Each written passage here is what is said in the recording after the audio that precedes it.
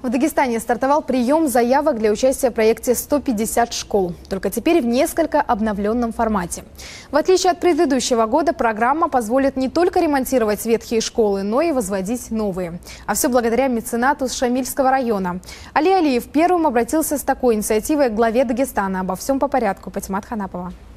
Шамильский район, Могох, единственное учебное заведение этого села в прошлом году было включено в проект «100 школ». По плану эти кабинеты должны были быть отремонтированы. Однако меценат, уроженец аула Али Алиев решил, ремонт не поможет. Нужно снести старую и возвести новую, надежную и вместительную школу. Это как строительство проект не предусматривал, мужчина решил взять на себя полностью все затраты.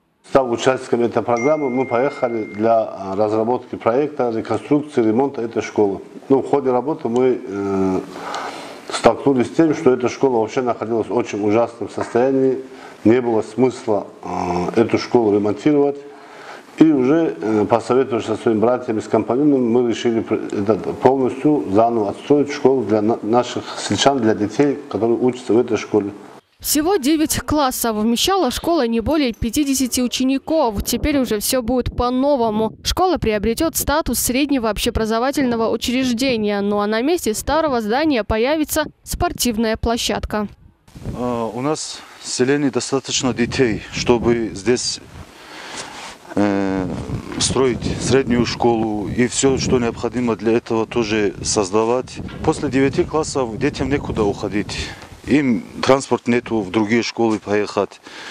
И вот по этому поводу все родители, вот, все село хотим, чтобы здесь у нас была средняя школа. Вот для этого у нас ведется вот эта работа.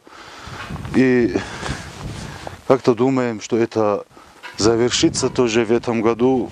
В старой школе не было необходимых условий и коммуникаций. Теперь в новое здание будет подведена вода и проведено отопление.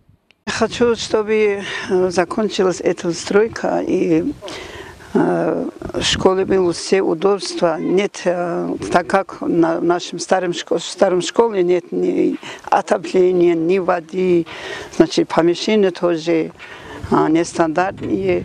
Значит, мы тоже хотим, как цивилизованные люди, жить здесь, работать.